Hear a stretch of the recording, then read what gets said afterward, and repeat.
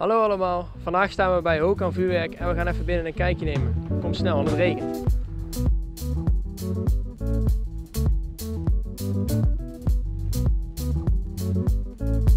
We staan hier eh, vandaag met eigenaar Jo de Laat. Eh, jo, vertel eens over Hokan. Uh, Hokan, ja, dat bestaat nu uh, eigenlijk niet, eh, acht jaar bestaat nou. Ik was eerst een Zena-winkel. Dit is een nieuwe vestiging waar we nu staan. Ik ben dit jaar verhuisd. En ik heb nog een winkel in Roosendaal en in Pijnakker. Ja, we staan hier in de nieuwe vestiging. Uh, wat maakt deze vestiging bijzonder?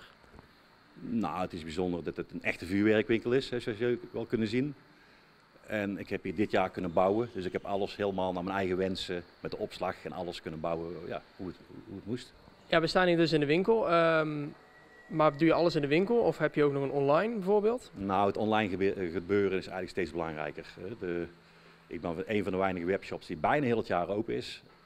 Waar mensen al kunnen bestellen voor het einde van het jaar. En dat zou je zeggen, zijn er mensen mee bezig? Ja, heel veel. Ja, je hebt dus drie andere vestigingen. Um, ben je begonnen in Oosterwijk?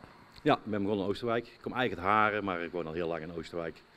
En uh, hier ben ik begonnen en daarna ben ik naar Pijnakker en Roosendaal ook naar mijn winkel geopend. Dus een echt Oosterwijks bedrijf uh, is ja, het dus? echt Oosterwijks bedrijf, ja. Uh, nou Jo, ik herken wat vuurwerk, maar wat, wat dit is, dat is me een raadsel. Nou, dat is ook wel leuk. We hebben, omdat we natuurlijk een echte vuurwerkwinkel zijn, probeer ik ook echt aparte spul te krijgen. En dit is eigenlijk een beetje nostalgisch vuurwerk. Mensen van vroeger kennen het nog wel.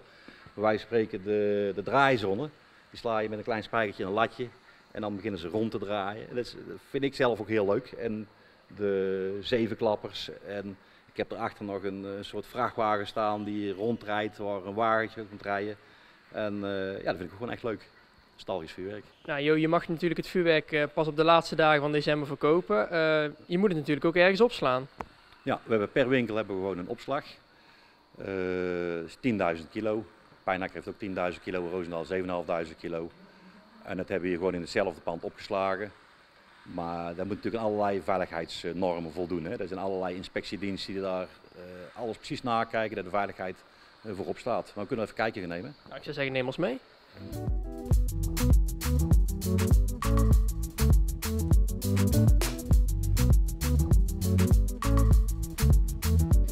Nou, ik, ik, zie, uh, ik zie heel veel water. Ja, ik heb hier 14.000 liter water. Dat is het bluswater voor de voor de opslag. Hè, want een, brand, een, een, gewone waterleiding heeft nooit genoeg druk. Dus hier hebben we 14.000 liter water met aan deze kant. Hier is dan de pompunit. Die dat, uh, mocht er iets gebeuren met een alarm, dan gaat deze pomp, deze 14.000 liter, uh, in de opslag pompen. Dan kunnen we nu even natuurlijk lopen. Helemaal goed. De deuren staan nu open en dan komt dat we hier ook magneetsluitingen hebben. Dat wil zeggen, als er brand is of een alarm is, vallen deze deuren automatisch dicht. Dat is wel zo veilig. Ja, nou vroeger had ik die optie niet, dus er moesten altijd de deuren gesloten zijn. Uh, dat betekent ook de laatste drie dagen, dan gaan die deuren, die gaan een paar duizend keer per dag open en dicht, want open laten staan mag niet. Alleen met dit systeem mag dat wel, want die zitten aangesloten op de brandmeldcentrale. En als er rook of brand is, dan vallen ze gewoon automatisch dicht. Nou, hier hebben we, uh, hier hebben we de uh, één bunker, opslag, bunker, bunker vind ik al een groot woord, opslag uh, voor vuurwerk wat uitgepakt is. Dus hier kunnen de mensen gelijk de, de, bestellingen klaar gaan maken. hier mag ik 2000 kilo in opslaan. Daar zit er nu ook in. Ik heb hier het midden nog spullen, die gaan nog op transport naar Pijnakker. Maar in principe is dan dadelijk tijdens drie dagen is dit gedeelte een mooie looproute, zodat ze mooie spulletjes bij elkaar kunnen pakken voor de bestellingen compleet te maken. Nou, hier hebben we nog een opslag voor 8000 kilo. Uh, en hier blijft het in principe altijd in de, uh, in de dozen zitten. Dat is het verschil. 8000 kilo in een doos en 2000 kilo onverpakt. Dan heb ik samen 10.000 kilo. Uh, maar dat is voor mij niet genoeg. Dus ik krijg tijdens die dagen krijg ik, ook, krijg ik ook nog steeds transporten erbij. Als ik maar niet boven de 10.000 kilo in één keer kom. Hè? Dus dat is dus de max wat erin mag. En, maar de veiligheid is echt heel belangrijk. En ook het is een kostbaar hokje om te maken, dus, maar het moet ook, het hoort erbij. Dus. Ja, want ik zie serieus ja, dikke muren. Hier, als hier iets ontploft, dan... Nou, daarom, dat is een misverstand. Ontploft eigenlijk nooit niks.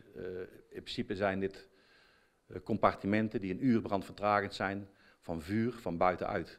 Hier binnen zal nooit geen vuur ontstaan, want hier is geen vuur, hier is geen stopcontact niks. Dus speciale vonkvrije verlichting. als het nou bij wijze van spreken ergens bij een vuurwerkwinkel brand ontstaat, is het altijd buiten de opslag. Kortsluiting ergens of het maakt niet uit waar. Dus, dus in principe is het heel dit principe een uur brandvertragend van buitenaf. En mocht het zijn dat het brand alsnog naar binnen komt, slaan de sprinklers aan en gebeurt er helemaal niks. Dus dit is gewoon hartstikke veilig. Dit is hartstikke veilig. Dit, dit zal ook nooit ontploffen. Mocht het zijn dat de sprinklerinstallatie op reden niet aangaat, dan brandt zoiets van binnen gewoon uit. Uh, ja, Jo, heb jij dan nog uh, tips uh, om met oud en nieuw veilig vuurwerk af te steken? Nou, veiligheid is natuurlijk het belangrijkste. Hè. We willen absoluut niet dat er ongelukken gebeuren. Dus een veiligheidsbril is heel belangrijk. Ja, hou veilige afstand van het vuurwerk. Hè. Dat, echt, normaal gesproken zo 30 meter of 18, echt ver weg zetten. De bril opzetten en ook de, de beschrijving die erop staat gewoon goed lezen. En gewoon verstandig mee omgaan. Wij spreken niet van de ouderen, dronken, dronken allemaal vuurwerk af liggen te steken, want dat is gewoon hartstikke gevaarlijk.